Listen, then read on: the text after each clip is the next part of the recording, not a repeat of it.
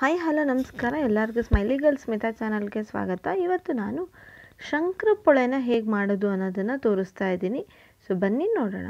ನೀವಿನ್ನು ನನ್ನ ಚಾನಲ್ಗೆ ಸಬ್ಸ್ಕ್ರೈಬ್ ಆಗಿಲ್ಲ ಅಂದರೆ ತಕ್ಷಣ ಕೆಳಗಡೆ ಕಾಣುವಂತಹ ರೆಡ್ ಸಬ್ಸ್ಕ್ರೈಬ್ ಬಟನ್ನ ಪ್ರೆಸ್ ಮಾಡಿ. ಆ ನಂತರದಲ್ಲಿ ಪಕ್ಕದಲ್ಲೇ ಇರುವಂತಹ ಬೆಲ್ ಐಕಾನ್ನ ನೀವು ಪ್ರೆಸ್ ಮಾಡೋದ್ರಿಂದ ನಾನು ಯಾವುದೇ ಹೊಸ ವಿಡಿಯೋನ ಅಪ್ಲೋಡ್ ಮಾಡಿದರೂ ನಿಮಗೆ ನೋಟಿಫಿಕೇಷನ್ಸ್ ಸಿಗುತ್ತೆ. ಮೊದಲಿಗೆ ಒಂದು ಪಾತ್ರೆಗೆ ಹಾಲನ್ನು ತೊಗೊಳ್ತಾ ಇದ್ದೀನಿ. ಸೊ, ಹಾಲು ಸ್ವಲ್ಪ ಬಿಸಿ ಇರಬೇಕು, ಬೆಚ್ಚಗೆ ಇರಬೇಕು, ತೀರಾ ಬಿಸಿನೂ ಅಲ್ಲ, ಬೆಚ್ಚಗೆ ಇದ್ದರೆ ಸಾಕು. ಎಕ್ಸಾಕ್ಟ್ ಮೆಷರ್ಮೆಂಟ್ ಎಲ್ಲ ಡಿಸ್ಕ್ರಿಪ್ಷನ್ ಬಾಕ್ಸಲ್ಲಿ ಹಾಕಿರ್ತೀನಿ, ಅಲ್ಲಿ ಚೆಕ್ ಮಾಡಿ. ಹಾಗೆಯೇ ವಿಡಿಯೋನ ಪೂರ್ತಿ ನೋಡೋದನ್ನು ಮರಿಬಿಡಿ.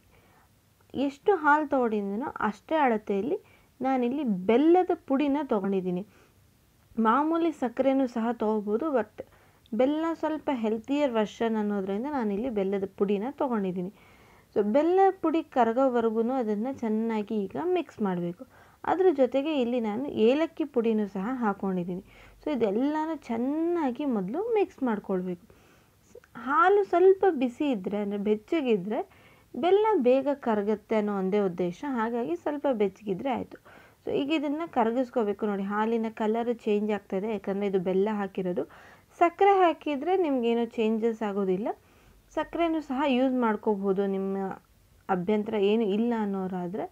ಜೊತೆಗೆ ಇಲ್ಲಿ ಒಂದು ಸ್ಪೂನಷ್ಟು ತುಪ್ಪ ಹಾಕ್ಕೊಂಡಿದ್ದೀನಿ. ಬೇಕು ಅಂದರೆ ನೋಡ್ಕೊಂಡು ಇನ್ನೊಂದು ಸ್ವಲ್ಪ ಸ್ಪೂನು ಹಾಕೋಬೋದು ಸೊ ಅದನ್ನು ಸಹ ಮತ್ತೆ ಬೀಟ್ ಮಾಡ್ಕೊಳ್ತಾ ಮಾಡ್ಕೊಳ್ತಾ ಈಗ ಗೋಧಿ ಹಿಟ್ಟನ್ನು ನಾನಿಲ್ಲಿ ಯೂಸ್ ಮಾಡ್ತಾ ಇದ್ದೀನಿ.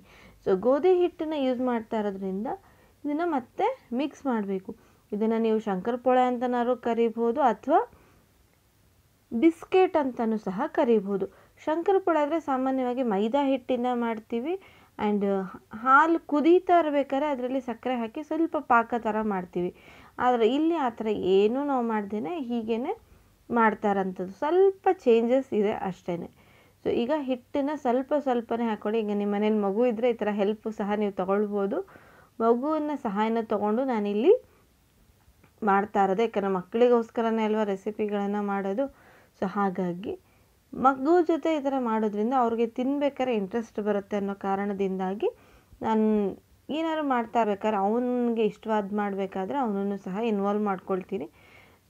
ನಾವು ಹಾಕ್ಕೊಂಡಿರುವಂತಹ ಹಾಲು ಹಾಕ್ತಾ ಹಾಕ್ತಾ ಏನಾಗಬೇಕು? ಅದು ಗಟ್ಟಿ ಆಗಬೇಕು ಸೊ ನೀವು ಒಟ್ಟಿಗೆ ಹಿಟ್ಟು ಹಾಕಿದಾಗ ಕಷ್ಟ ಆಗುತ್ತೆ ಸೊ ಸ್ವಲ್ಪ ಸ್ವಲ್ಪ ಸ್ವಲ್ಪನೇ ಹಿಟ್ಟನ್ನ ಹಾಕ್ಕೊಳ್ಬೇಕಾಗತ್ತೆ.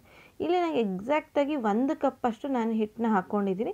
ನಾನು ಸಣ್ಣ ಕಪ್ಪಲ್ಲಿ ತೋರಿಸ್ತಾ ಇರೋದ್ರಿಂದ ಅರ್ಧ ಕಪ್ ಅಳತೆ ಇದು. ಹಾಗಾಗಿ ನಿಮಗೆ ಜಾಸ್ತಿ ಅನ್ನಿಸ್ತಾ ಇರೋಂಥದ್ದು ಅಷ್ಟೇ ಸೊ ಹಿಟ್ಟನ್ನ ಈ ಥರ ಹಾಕ್ಕೊಂಡು ಹಾಕ್ಕೊಂಡು ಇದನ್ನು ಚೆನ್ನಾಗಿ ಕೈಯಿಂದಲೇ ಗೋಧಿ ಹಿಟ್ಟನ್ನ ನಾವೇನು ಮಾಮೂಲಿ ಚಪಾತಿ ಕಲಿಸ್ತೀವಲ್ಲ, ಅದೇ ಥರ ಈಗ ಕಲಿಸ್ಕೋಬೇಕು. ಚಪಾತಿ ಹಿಟ್ಟಿನ ಹದಕ್ಕಿಂತ ಸ್ವಲ್ಪ ಗಟ್ಟಿ ಇರಬೇಕು ಇದಕ್ಕೆ. ಮೆತ್ತಗಾದರೆ ನಿಮಗೆ ಕ್ರಿಸ್ಪಿನೆಸ್ ಬರೋದಿಲ್ಲ. ಹಾಗಾಗಿ ಇದು ನೋಡಿ ಗಟ್ಟಿಯಾಗಿರಬೇಕು ಈ ಥರ ಸೊ ಇಷ್ಟು ಗಟ್ಟಿ ಇದ್ದರೆ ಸಾಕು. ಇದನ್ನು ಒಂದು ಐದು ನಿಮಿಷ ಹಾಗೆ ಬಿಟ್ಟು ಸ್ವಲ್ಪ ತುಪ್ಪನ ಇದಕ್ಕೆ ಅಥವಾ ಎಣ್ಣೆನಾದ್ರು ಸವರ್ಕೊಂಡು ಆಲ್ರೆಡಿ ತುಪ್ಪ ಹಾಕಿದ್ದೀವಿ ಹಾಗಾಗಿ ತುಂಬ ಬೇಕಾಗಲ್ಲ. ಸ್ವಲ್ಪ ಹಾಕಿ ಇದನ್ನು ಸ್ವಲ್ಪ ದಪ್ಪಗೆ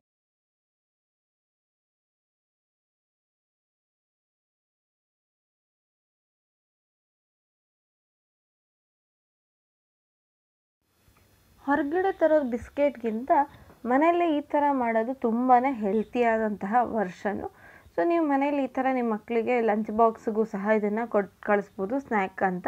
ಸೊ ತುಂಬ ರುಚಿಯಾಗಿರುತ್ತೆ. ಈಗ ಇದನ್ನು ಚೆನ್ನಾಗಿ ನಾದ್ಕೋಬೇಕು. ನಾದ್ಕೊಳ್ಳೋದ್ರಿಂದ ಇದು ಸ್ವಲ್ಪ ಗಟ್ಟಿ ಅನಿಸುತ್ತೆ. ಹಾಗಾಗಿ ಚೆನ್ನಾಗಿ ನಾದಬೇಕು. ಲೇಯರ್ ಬೈ ಲೇಯರ್ ನಿಮ್ಗೆ ಬರಬೇಕಲ್ವ? ಹಾಗಾಗಿ. ಸೊ ಇದನ್ನು ಈಗ ಲಟ್ಟಿಸ್ಕೊಳ್ಳೋಣ.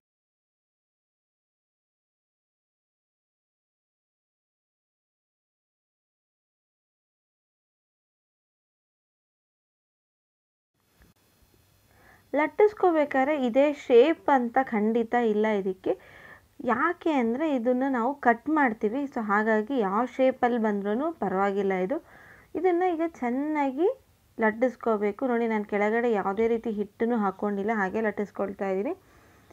ಸ್ವಲ್ಪ ಅಂಟ್ಕೊಳ್ಳುತ್ತೆ, ಅರೆ ಮತ್ತೆ ಹೀಗೆ ತೆಗೆದು ತೆಗೆದು ಇದನ್ನು ಮಾಡಬೇಕು. ನೀವು ಬಿಸ್ಕೆಟ್ ಥರ ಮಾಡ್ತೀನಿ ಅಂದರೆ ಈ ಥರ ಚಾಕು ತೊಗೊಂಡು ಕಟ್ ಮಾಡ್ಕೊಳ್ಬೋದು. ಇಲ್ಲ ಅಂದರೆ ಶಂಕರಪೋಳೆ ಥರ ಮಾಡ್ತೀನಿ ಅನ್ನೋದಾದರೆ ಶಂಕರಪೊಳೆಗೆ ಅಂತಲೇ ಒಂದು ಕಟ್ಟರ್ ಬರುತ್ತೆ. ಅದನ್ನು ಸಹ ಯೂಸ್ ಮಾಡ್ಕೊಳ್ಬೋದು ಅದನ್ನು ತುಂಬ ಚೆನ್ನಾಗಿರುತ್ತೆ. ಸೊ ನನ್ನ ಮಗನಿಗೆ ಆ ಥರ ಶಂಕರಪೊಳೆ ಥರ ಮಾಡೋದು ಇಷ್ಟ. ಹಾಗಾಗಿ ನಾನು ಅದನ್ನು ಸಹ ಮಾಡ್ತಾ ಇದ್ದೀನಿ. ಸೊ ಇದನ್ನು ಈಗ ಎಣ್ಣೆಯಲ್ಲಿ ಚೆನ್ನಾಗಿ ಕರಿಬೇಕು. ಡೀಪ್ ಫ್ರೈ ಮಾಡಬೇಕು. ಸೊ ಎಣ್ಣೆಯಲ್ಲಿ ಕರಿಬೇಕಾದ್ರೆ ಒಂದು ನೆನ್ಪಿಟ್ಕೋಬೇಕು. ಎಣ್ಣೆ ಲೋ ಫ್ಲೇಮಲ್ಲಿ ಇರಬೇಕು. ಲೋ ಫ್ಲೇಮಲ್ಲಿ ಇದ್ದಾಗಲೇ ಅದು ಚೆನ್ನಾಗಿ ಕರಿಯೋದಕ್ಕೆ ಸಾಧ್ಯ ಇಲ್ಲ ಅಂದರೆ ಏನಾಗುತ್ತೆ? ಬೇಗ ಗೋಲ್ಡನ್ ಕಲರ್ ಆಗುತ್ತೆ, ಒಳಗಡೆ ಎಲ್ಲ ಮೆತ್ತಗಾಗೋಗುತ್ತೆ ಹಾಗಾಗಿ ಒಳಗಡೆನೂ ಬೇಯಬೇಕು ಅಂದರೆ ಲೋ ಫ್ಲೇಮಲ್ಲಿ ಇದನ್ನು ತುಂಬ ಹೊತ್ತು ಚೆನ್ನಾಗಿ ಬೇಯಿಸ್ಬೇಕು, ಅಥವಾ ಫ್ರೈ ಮಾಡಬೇಕು. ಸೊ ನಾವು ತುಂಬ ಹೊತ್ತು ಮಾಡಬೇಕು, ಆದರೆ ನಾನಿಲ್ಲಿ ಫಾಸ್ಟಾಗಿ ತೋರಿಸ್ತಾ ಇದ್ದೀನಿ ಅಷ್ಟೇ, ನಿಮಗೆ ಬೇಗ ಆದಂಗೆ ಕಾಣುತ್ತಿದೆ ಅಷ್ಟೇ ಸೊ ಇದು ತುಂಬ lengthy process more than five minutes ಆದ್ರೂ ತೊಗೊಂಡೇ ತೊಗೊಳುತ್ತೆ. ನಾನು ಅಷ್ಟು ಲೋ ಆಗಿ ಇದನ್ನು ಕರಿತೀನಿ. ಆವಾಗ ತುಂಬ ಕ್ರಿಸ್ಪಿಯಾಗಿರುತ್ತೆ ನಿಮಗೆ ತುಂಬ ಎರಡು ದಿನ ಅಥವಾ ಮೂರು ದಿನನಾದ್ರು ಏರ್ ಟೈಟ್ ಕಂಟೈನರಲ್ಲಿ ಇಟ್ಟರು ತುಂಬ ರುಚಿಯಾಗಿರುತ್ತೆ. ಹಾಗೆ ಕ್ರಿಸ್ಪಿಯಾಗಿ ಇರುತ್ತೆ. ಸೊ ಇದನ್ನು ಮನೇಲಿ ಟ್ರೈ ಮಾಡಿ ಹೇಗೆ ಬಂತು ಅಂತ ಕಮೆಂಟ್ ಮಾಡಿ ತಿಳಿಸೋದನ್ನು ಮರಿಬೇಡಿ.